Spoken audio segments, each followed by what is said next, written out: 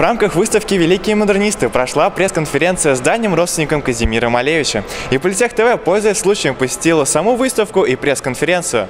Ну что ж, давайте посмотрим. Внучатый племянника занимается популяризацией произведения автора «Черного квадрата» в России. В ходе онлайн-конференции были затронуты вопросы о наследии великого художника в нашей стране. Сама выставка с нескромным названием «Революция в искусстве» представляет собой анимированную проекцию самых известных картин 10 великих деятелей 19 и 20 века на четырехметровую стену под классическую музыку. Как вам вообще тут атмосфера, события в самом?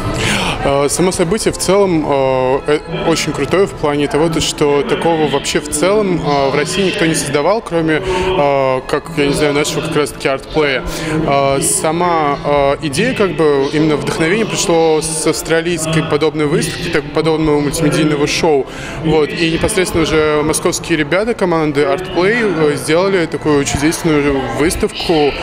В общем, это большое событие и в частности для Самары, потому что после Москвы первым городом явил, явилась именно Самара, куда привезли эту выставку. Дмитрий Овчинников, Никита Виловатый, Политех ТВ.